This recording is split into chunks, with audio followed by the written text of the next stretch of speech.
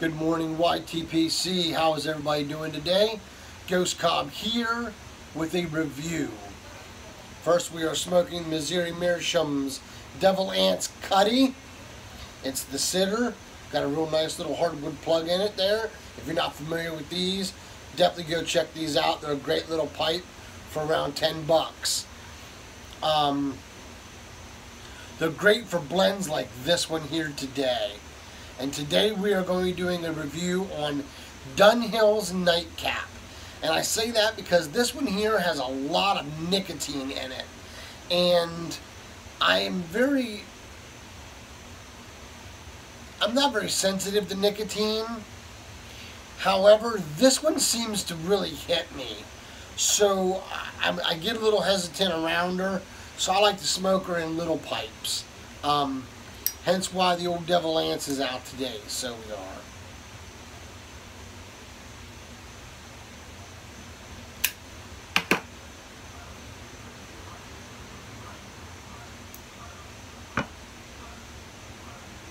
Couple mud. Dunhill's Nightcap. It is an English blend. A ribbon cut. I will get to that in a minute Latakia, Orientals, and Virginias are what are, are the components of this blend. Um, it is a very nice blend. So it is. It's a little wet for me. I did not let it sit. I'm an impatient man. I know, surprise, right? An impatient man, ladies. That's a surprise. So here's the ribbon cut. It's your normal Dunhill consistency as far as ribbon cut. You know, Dunhill's very consistent. I have to give them that. Um, when I take a, uh, when I stick my sniffer here in the jar, because we don't have a tin, obviously,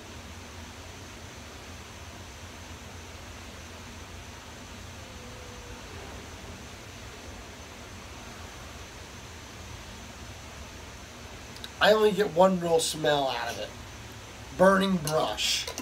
It reminds me of burning big piles of brush. Um, now, I grew up burning a lot of piles of brush. You know, farmers would burn their brush when I worked for them. Um, being in the fire department, we would always go to uh, certain people's houses to help them when they would burn their brush. We would take the brush truck and sit there and make sure that it didn't get out of hand on them or anything like that, you know. So that was how we had done that. But that's what that reminds me of, that tin note. The jar note there, rather.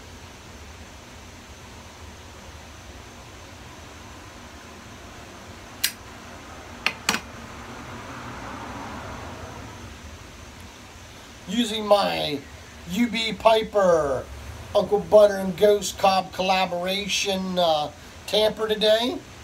I also got my Tennessee Bull tamper handy. I've been known to pick it up a few times. So, just in case you see that tamper, you know what it is and who it's from. Um, smoking her.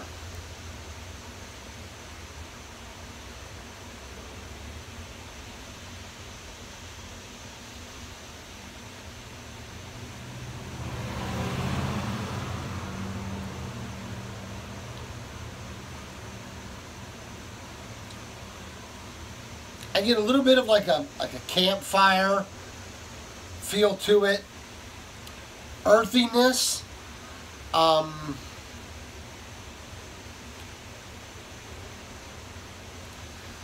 and as it's fading off my palate, I get nuttiness.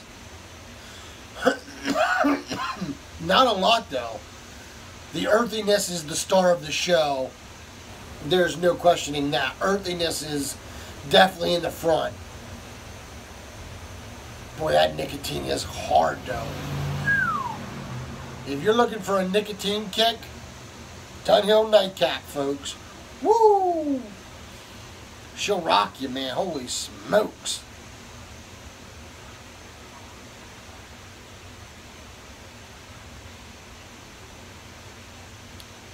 I'm just about midway down my bowl here. And it really hasn't changed much.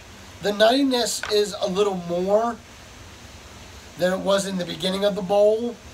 The nuttiness has gotten a little stronger. Um, I didn't sleep well the last couple of days, folks. I apologize if I move around a lot. For those of you that do not know, I have both knees replaced and my hip and my thigh replaced. So if I'm moving around a lot, it's it's a lot because I'm just trying to get comfortable.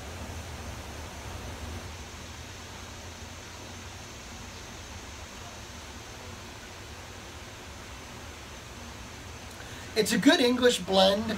I do like it. Um, it's not something that I can smoke all the time. And like I said, I really normally smoke them in little bowls. Um, I really like smoking it out of smaller uh, bowl pipes because of the nicotine hit. Um, would I recommend this blend? Absolutely. I would definitely recommend this blend to anybody. Um, would it be a first English blend? No. Definitely not a first English blend. Guys, you got to be more careful with it than that. Um, it'll kick you in the, it'll kick you in the teeth. Uh, that's the best way to put it, to be honest with you. Um, I would not also, I wouldn't recommend smoking it in a crowd of people. It's not something you would smoke at a fair or in amongst a big crowd. It would be a home, maybe a barbecue or something like that. You could chooch on her, but uh, not something if you're looking for to smoke a, a, pipe in a crowd of people and not hear many complaints. You don't want this one. Um, but that's it for uh, Dunhill's Nightcap. I would definitely suggest you give her a shot. I have not had the morning pipe yet. Um, I have to order it. Uh, so until I can get it ordered or some or you know for some reason somebody sends me a sample or whatever, um, I'm not gonna be able to do it yet. I've never smoked it. Uh, that's one blend I've never tried from Dunhill. There's quite a few that I haven't. Uh, but they have a lot of great English blends. Aperitif is one of my one of my favorites. I really like it. And I like the nightcap. It's just I have to smoke this one in small increments because of that nicotine, man. It'll just kick you right in the teeth. So, well, so that's my review on Dunhill Nightcap. I hope it helps you guys out. Um, going to do a couple shout outs here in the end. And I am going to shout out Hill Billy. Yes, that's H-I-L-L Billy. I'm going to shout out Ronin Piper, R-O-N-I-N Piper and Stogie Pipe Smoker. Stogie Pipe Smoker. And last but certainly not least today, folks, Blind Faith. Folks, if you have not watched this young lady, she is every bit of the word inspirational. This young lady is Real McCoy Piper's daughter she was born blind and she just shows a lot of things on how she maneuvers on things being blind. Um, you know, this woman is, this young lady is very, very inspirational. And her faith is amazing. Her faith is addicting. So um, if you have not had a chance to check those guys out, please check them out. Once again, Hillbilly, Ronin Piper, Stogie Pipe Smoker, and Blind Faith. Guys, check them out. Give them a sub. They're great folks. They're all newbies. They're all under 100 subs. Let's help them out. Let's give them some love. Show them what the YTPC is all about. Guys, until we can get together and pack a pipe or light that great cigar, let all that you do be done out of love. Y'all take care and God bless.